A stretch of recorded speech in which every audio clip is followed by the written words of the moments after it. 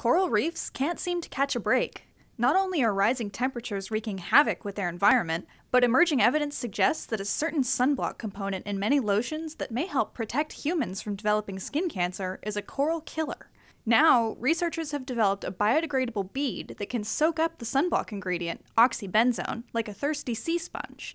They hope to use the agent to clean up seawater at the beaches. The researchers are presenting their work at the 254th National Meeting and Exposition of the American Chemical Society. Oxybenzone is a common sunscreen ingredient that can cause coral bleaching. Felix Roman and his team from the University of Puerto Rico hope to remove the chemical from seawater using magnetite nanoparticles that are inside an environmentally friendly and cheap matrix.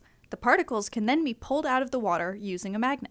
The matrix consists of materials like alginate, which is derived from algae, and chitosan, which is a waste product of fish.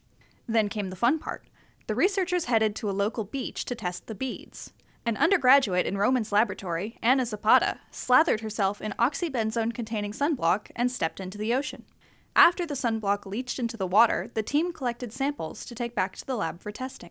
There, Zapata ran chromatography experiments on the sample and found an oxybenzone concentration of 1.3 parts per million within 10 minutes of the exposure. Zapata said that's very high because concentrations of only parts per billion may be enough to negatively impact coral. Next, the researchers added their beads to the sample.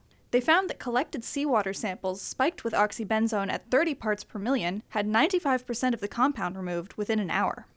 In their next set of experiments, Roman's team will be testing volunteers coated in sunblock and swimming in a saltwater swimming pool.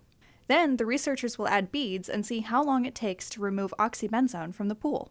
Roman says they'll have to run the experiment multiple times with different amounts of beads so they can know how many beads it will take to clean a whole beach.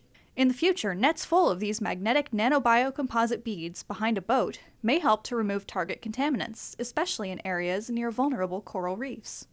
Headline Science is a production of the American Chemical Society. For more of the latest chemistry headlines,